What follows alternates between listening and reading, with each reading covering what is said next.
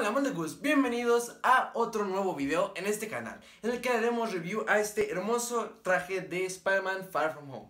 Este traje está hecho de licra impresa, así que si lo estiras lo suficiente podrás ver un poco de blanco. Pero eso no será un problema, ya que si eliges la talla correcta antes de comprarlo, podrás verlo totalmente normal.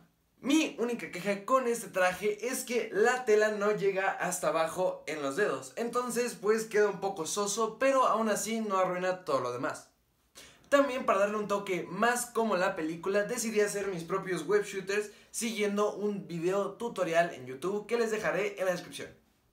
También por si había alguna duda, tiene un cierre en la parte de la espalda para que te lo puedas poner más fácilmente. Evidentemente el traje también viene con su máscara, por si hay alguna duda, los lentes están hechos de plástico y esta parte blanca está hecha de papel micro perforado por la que puedes ver perfectamente cuando te la pongas.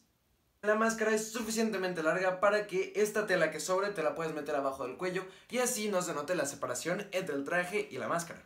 Para la parte de los pies, como pueden ver, el traje sigue hasta abajo. Pero la única cosa es que evidentemente aquí no tiene suela y estela. Así que yo decidí usar los tenis que usé para el traje casero de Spider-Man Homecoming y así poder caminar mejor. De esta manera se pone la máscara.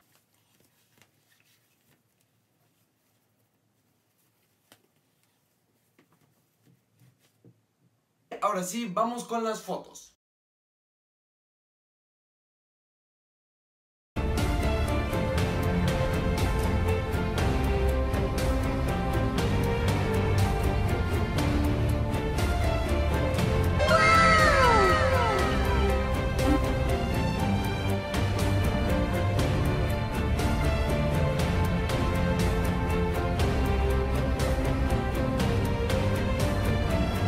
Más fotos las podrán encontrar en mi Instagram.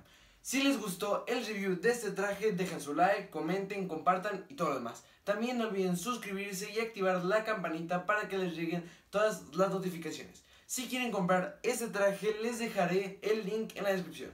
Nos vemos en el siguiente video. Hasta ahora.